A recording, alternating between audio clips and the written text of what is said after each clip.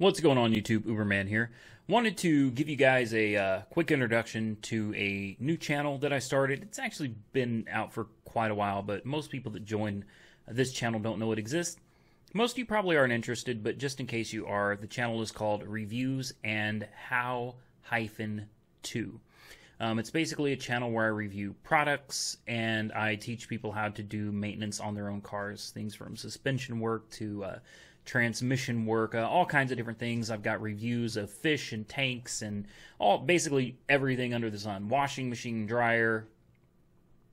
Well, there's a lot, guys. If you're interested in it, it's a small channel. It's only got 300 subscribers, but I figured I'd throw a video out for you guys because some of you may be interested in seeing what I do on the side. Um, a lot of videos on there I have not published to my main YouTube channel.